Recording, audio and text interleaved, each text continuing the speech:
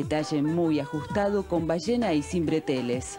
Llevaba un ramo de azucenas muy grande y en el escote un broche de brillantes recuerdo de la familia Roviralta y regalo de su suegra. La peinó Miguel Romano, un breve estiramiento de pelo y un tocado sencillo de pequeñas orquídeas blancas en torno del rodete.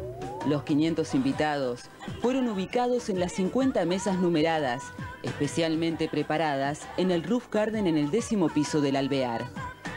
Entre los invitados, Ricardo y Florencia Darín, Graciela Borges y Carlos Christiansen, Bernardo Neustad y Ani Costaguta, Nacha Guevara y Adolfo Donati, Susana Traverso y Ramón Jorge, Gerardo Sofovich y Carmen Morales, Carmen Yazalde y Alejandro Anchorena.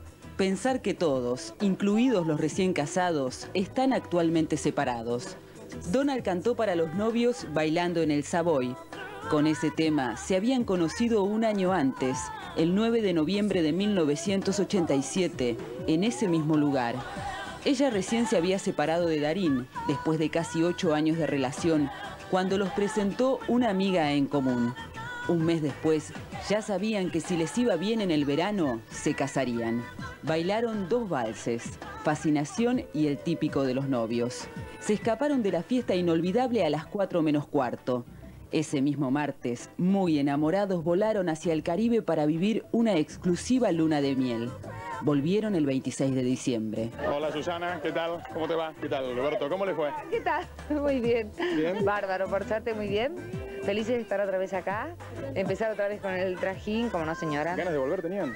¿O daba para quedarse más? No, tenemos ganas de quedarnos. Muchas ganas de quedarnos, ¿Empezaron a hacer los- la- las cosas de cada uno en la pareja que le molestan al otro o no? No, tan rápido no.